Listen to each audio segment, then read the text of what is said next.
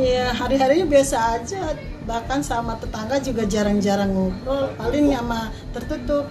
Paling sama saya kalau lewat ya udah sekedar Bu RT ya gitu doang enggak ada.